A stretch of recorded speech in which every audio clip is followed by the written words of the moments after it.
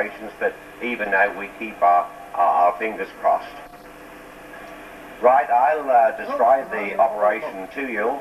Uh, the first part is to make sure that the old exchange is clear of traffic, that there are no calls going through uh, the new exchange. This is, of course, comparatively easy at this time of the morning, 7 o'clock, and this is why, of course, we've chosen 7 o'clock as the transfer time for Abingdon.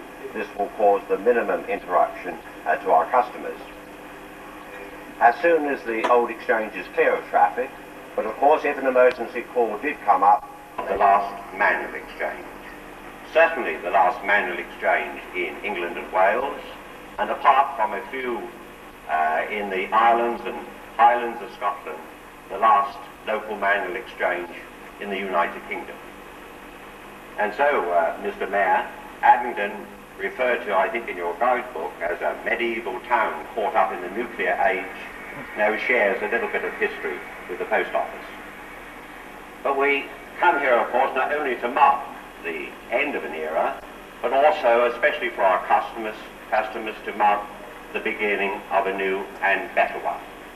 Because at 7 o'clock this morning, we opened that splendid new automatic telephone exchange in Stratton Way.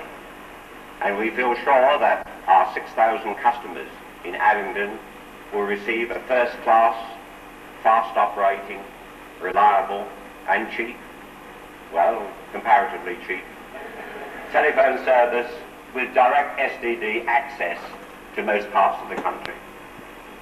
And